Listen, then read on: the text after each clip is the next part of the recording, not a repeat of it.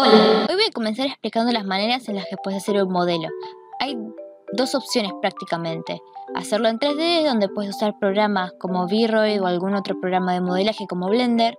También está el 2D, que es como yo lo voy a hacer hoy, pero para esto necesitaremos dos programas principales. Este es el Live 2D, que se, lo puedes encontrar gratis en su página web, y el Face Ring, que este sí es pago el programa, y que además tenemos que tener el DLC de Live 2D. Ambos están en Steam.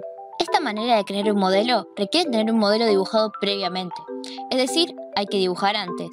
Para eso vos mismo podés dibujar o comisionar a alguien que te dibuje un modelo para Live 2D. Sin embargo, hay que tener varias cosas en cuenta antes de comenzar a dibujar.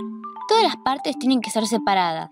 Las pestañas, cuencas, cara, el pelo, todo debe estar en capas distintas. Te recomiendo continuar el dibujo un poco más en algunas partes, incluso si no se ve, esto ayuda a que el movimiento se vea un poco más completo. Una vez tengas todo, tenés que guardar el dibujo en .pds, es decir, Photoshop. Incluso si no dibujas con Photoshop, con solo guardarlo como PDS sirve.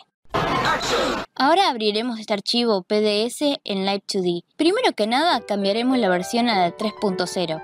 Esto es para evitar los problemas de compatibilidad con FaceRing. Y después estableceremos las texturas apretando el cuadradito ese con la persona esa. Tenemos que fijarnos que todos los elementos no choquen entre sí y una vez acomodado le damos al OK. Después hay que crear el mesh. Apretando control más A, esto nos selecciona todo, permitiéndonos apretar el botón de auto para que nos autogenere el mesh. Siempre pueden hacerlo manualmente apretando la parte que quieran modificar y este botón.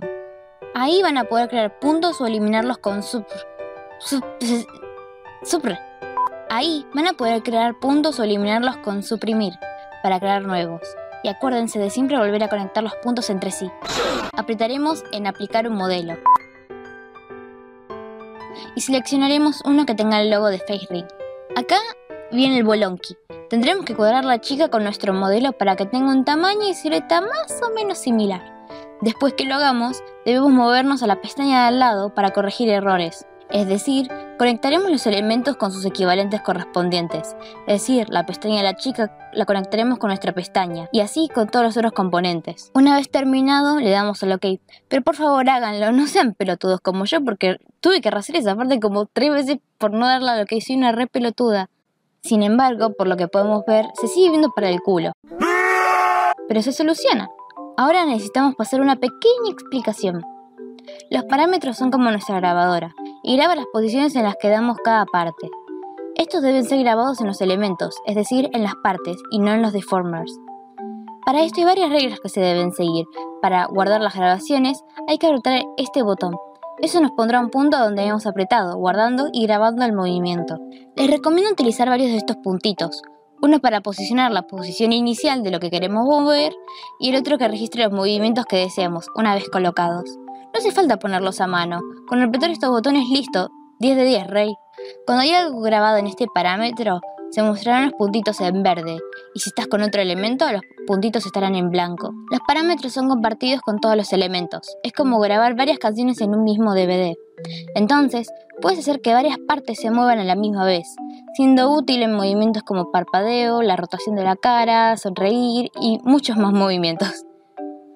Y esta pequeña explicación nos lleva a cómo podemos arreglar este monstruo, eliminando los parámetros grabados y haciendo a mano o modificándolos.